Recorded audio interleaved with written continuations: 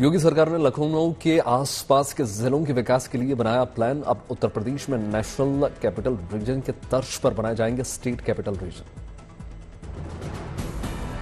Uttar Pradesh के छह जिलों को मिलाकर लखनऊ बनेगा स्टेट कैपिटल रीजन। एससीआर बनाने के साथ साथ कुल उनतीस प्रस्तावों को योगी सरकार ने किया पारित। उत्तर प्रदेश कैबिनेट की मीटिंग में किसानों के लिए योगी सरकार का बड़ा तोहफा, किसानों के ट्यूबवेल के लिए मुफ़्त बिजली का प्रस्ताव पास।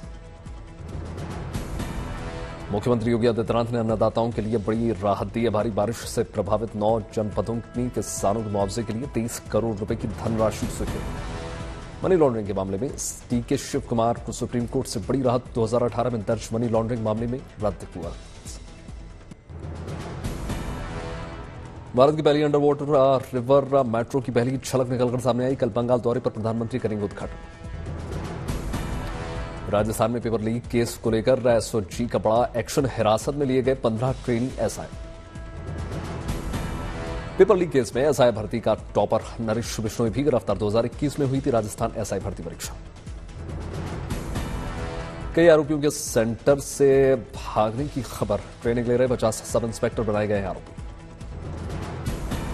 कांग्रेस नेता अर्जुना मेड़ बाडिया और डेर और मुनू भाई कंडोरिया बीजेपी में हुए शामिल।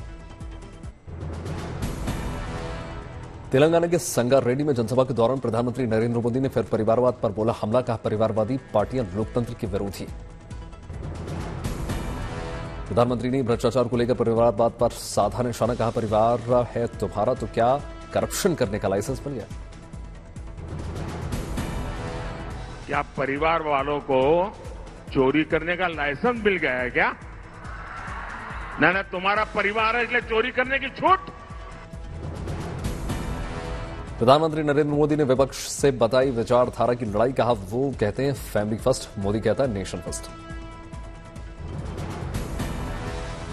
वो कहते हैं फैमिली फ़र्स्ट मोदी कहता है नेशन फ़र्स्ट